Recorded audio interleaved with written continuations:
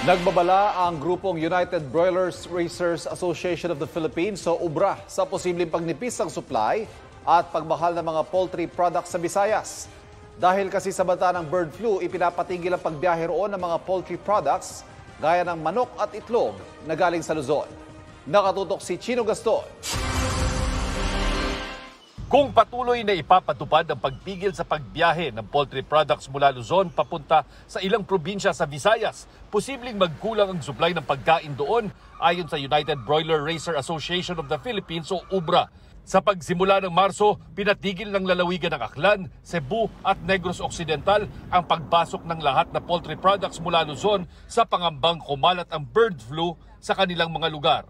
Sinakop na raw kasi ng ban ng mga nasabing probinsya hindi lamang ng buhay ng mga poultry gaya ng manok, pugo, day-old chicks, pato at itik, kundi pati iba pang poultry products gaya ng itlog, balot at dressed chicken.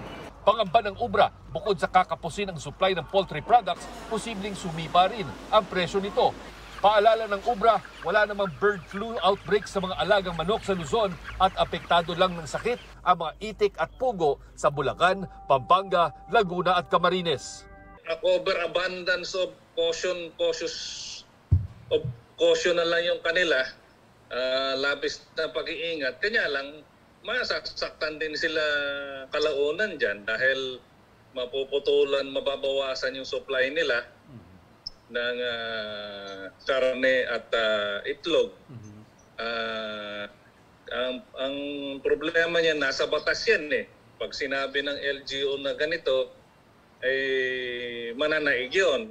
Sa Memorandum Circular Number 6 ng Department of Agriculture noong 4 ng Marso, pinagbabawal ang pag-transport ng lahat na buhay na poultry at live birds mula Region 1, 2, 3, 4A at CAR regions patungong Visayas, Mindanao at Mimaropa sa loob ng isang buwan. Pinahihintulutan naman ang pagdala ng mga day-old chicks na gamit sa poultry racing mula sa mga international airports at seaports sa Luzon papuntang Visayas, Mindanao at Mimaropa. Pinapayagan din ang itlog ng manok, pugo, pulang itlog at balot mula Luzon basta't may sinusunod na pag-iingat gaya ng disinfection. Hindi rin bawal ang dressed chicken mula Luzon basta may meat inspection certificate. Uh, yung mga products, ibinan na nila, pati itlog, pati uh, balot. And doon sa ibang products, ang uh, we're reaching out with them now, ang, tinat ang gusto natin malaman, baka naman pati yung mga cook at yung mga process ay isinama nila dyan. Panawagan naman ng Samahan ng Industriya ng Agrikultura sa Department of Agriculture, suriin ng husto ang lahat na papasok na live o processed poultry products sa bansa para hindi kumalat ang bird flu. dapat eh strict yung testing ng mga product. Kailangan no, ah, i-restrict talaga dahil ayaw natin mag-spread yan. Sa Blanco Tabato, higit isang libong bibe na dinala ng isang truck mula Tacorong City sa Sultan Gudarat ang pinatay sa hinalang ipinuslit ito kahit may bird flu. Kinuhanan ng sample ang mga pinatay na bibe para ipasuri sa laboratorio.